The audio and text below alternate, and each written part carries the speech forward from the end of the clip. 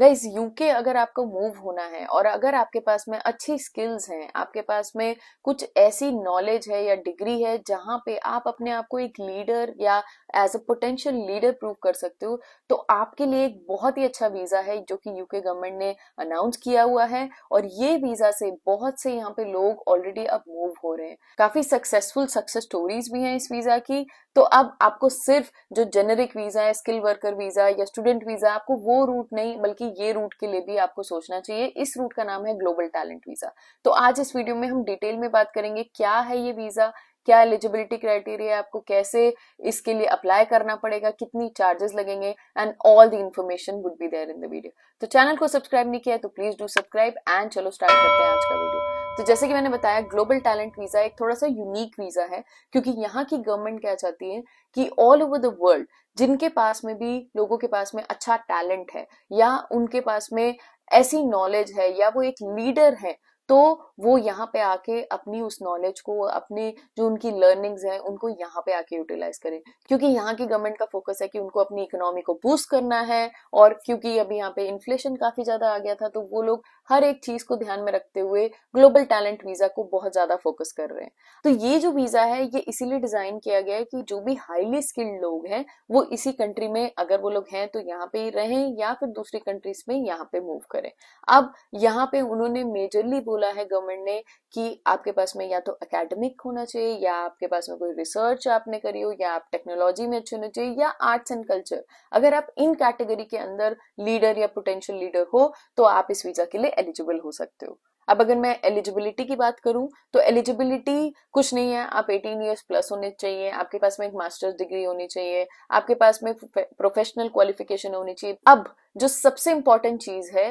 Global talent visa में, वो ये है कि आपको एक अपना प्रूफ करना होता है कि आपके पास में ये कैसा, जो भी आप एक्सपर्टीज शो कर रहे हो, वो कैसे आप प्रूफ करोगे। तो इसके लिए आपको एक, यहाँ की जो एंडोर्समेंट बॉडी है, उनसे एंडोर्समेंट लेना पड़ता है। अब ये क्या होता है? ये कुछ नहीं होता, ये बस एक डॉक्यूमेंट काइंड ऑफ़ एंडोर्समेंट होता है, जो कि ये प्रूव करता है कि आपके पास में जो आप एक्सपीरियंस बोल रहे हो। फॉर एग्ज़ाम्पल अगर आप बोल रहे हो कि आप टेक्नोलॉजी में एज ए लीडर हो, या आप, आपने किसी रिसर्च में, या किसी चीज़ में आपने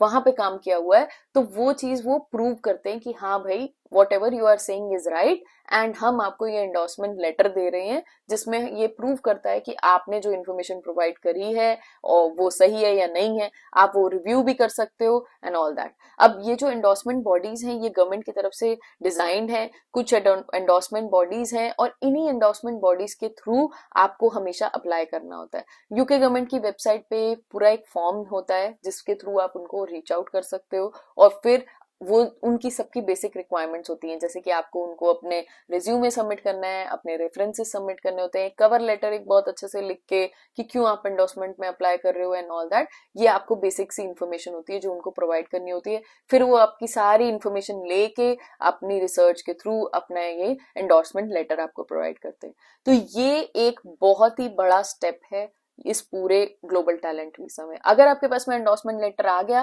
दैट मीन्स बस आप वीज़ा अप्लाई करोगे, अपने सारे डॉक्यूमेंट सबमिट करके विद योर एंडोर्समेंट लेटर तो आपको ये ग्लोबल टैलेंट वीज़ा मिल जाएगा। अब यहाँ पे सबसे बड़ा ट्विस्ट ये है कि ऐसा कुछ नहीं है कि आपके पास में कोई कंपनी है जो कि आपको स्पॉन्सरशिप लेटर दे रही है, या फिर आपको तब आप जाके मतलब ये चीज़ आप अप्लाई कर सकते हो इस वीज़ा को, ऐसा कुछ नहीं है। यहाँ पे अगर आपको एंडोर्समेंट मिल गया, आप फ्री हो, आप जाके वीज़ा अप्लाई कर सकते हो और आपको वो वीज़ा आसानी से यूके गवर्नमेंट से मिल सकता है। अभी आपके पास इवन कोई जॉब भी ना हो तो भी आपको ये वीज़ा आराम से मिल जाएगा। आपको जब वीज़ा आ जाएगा, तब आप जॉब्स को के लिए अप्लाई कर सकते हो या आपका जब वीज़ा का प्रोसेस स्टार्ट हो चुका है, तब आप वीज़ा या जॉब्स के लिए यहाँ पे अप्लाई कर सकते हो। उसके बाद जैसे कि आपको एंडोर्समेंट मिल गया, आपने वीज़ा के लिए अप्लाई कर दिया वीज़ा एप्लीकेशन के लिए भी आपको सिंपल डॉक्यूमेंट्स अपने सारे, जैसे आप नॉर्मल वीज़ा के लिए सबमिट करते हो, वो सब सबमिट करोगे, आपका वीज़ा आ जाता है। बट जब आप वीज़ा के लिए अप्लाई करते हो तो जो आपके चार्जेस लगते हैं, वो जानना बहुत ज़रूरी है, क्योंकि जो टोटल आपका इसमें प्राइस लगेगा,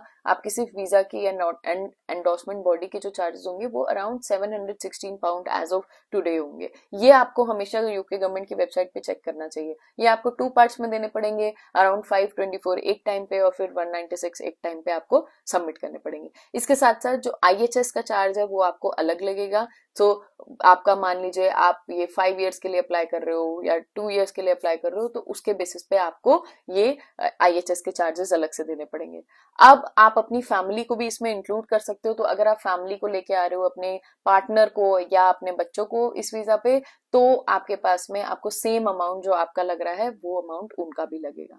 तो ये तो हो गई बात कि आपको अगर वीज़ा मिल जाता है एंडोर्समेंट बॉडी से आपको एंडोर्समेंट मिल गई आपने वीज़ा अप्लाई करा आपको वीज़ा मिल गया आपको कितना खर्चा हुआ। सो so, कुछ चीज़ें जान लेते हैं इस वीज़ा के बारे में बिफोर यू अप्लाई और मैं अब कुछ ऐसे भी पॉइंट्स बताऊँगी जो कि आपको ध्यान में रखने चाहिए जब आप इस वीज़ा के लिए अप्लाई कर रहे हो। सबसे पहले अगर मैं बेनिफिट्स की बात करूँ तो ये वीज़ा जैसे कि मैंने बोला, आप फैमिली को यहाँ पे लेके आ सकते हो, आपके डिपेंडेंट्स आपके साथ यहाँ पे आ सकते हैं और आप अपनी फैमिली को यहाँ पे सेटल कर सकते हो। प्लस अगर आप फाइव इयर्स प्लस यहाँ पे रह लेते हो तो आपके पास में इनडेफिनेट लीव टू रिमेन जो कि यहाँ का पीआर होता है, आपको वो भी मिल सकता है और आप अपने परमानेंट रूट सेटलमेंट में भी इस वीज़ा के थ्रू यहाँ पे यूके में आ सकते हो।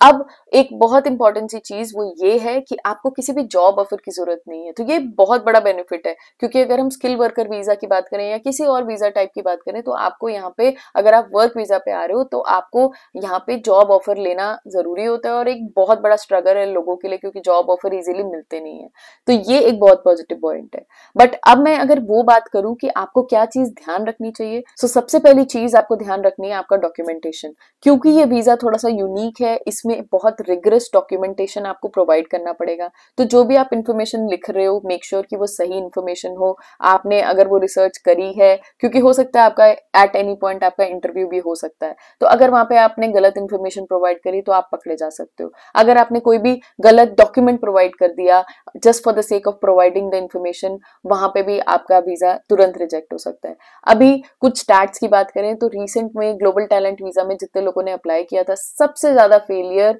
जिस जो उसका रीजन दिया गया था, वो था डॉक्यूमेंटेशन तो ये एक बहुत इंपॉर्टेंट चीज़ है जो कि आपको ध्यान रखनी है। अब आपको दूसरी एक बहुत इंपॉर्टेंट चीज़ है कि आपको लोगों से हेल्प लेने में शर्माना नहीं है और लोगों से हेल्प लेनी है। आप बहुत ही एक्सपीरियंस लोग हो गए स्पेशली जब आप इस वीज़ा के लिए अप्लाई कर रहे हो बट हमेशा ट्राई करिए कि आपको कुछ ऐसे फोरम्स या कुछ ऐसी कम्युनिटीज यहाँ पे बन गई हैं जो कि ग्लोबल टैलेंट वीज़ा के लोग हैं। तो मेक श्योर sure कि आप जब अपने लेटर सबमिट कर रहे हो एंडोर्समेंट बॉडी को, या आप उनको रीच आउट कर रहे हो, या आप अपनी एप्लीकेशन फिल ऑन कर रहे हो, कि आपके पास में अगर कोई मेंटर होता है जिसको ऑलरेडी ये वीज़ा मिल चुका है, अगर वो आपकी हेल्प करने को तैयार हो जाते हैं तो ये आपके लिए बहुत ईजी हो जाएगा। हम खुद अपने एक सब्सक्राइबर को जानते हैं जिन्होंने हमसे लेटर अपना रिव्यू कराया था उसके बाद में हमने उन्हें किसी और से कनेक्ट किया था क्योंकि उनका ग्लोबल टैलेंट वीज़ा आ गया था। तो अब आप भी खुद से ऐसे रिसर्च करिए, ऐसे लोगों को फाइंड आउट करिए, ताकि आपका जो रिजेक्शन है वो ना हो और आपको ये वीज़ा इजीली मिल जाए। जैसे कि मैंने बोला वीज़ा बहुत सिंपल है,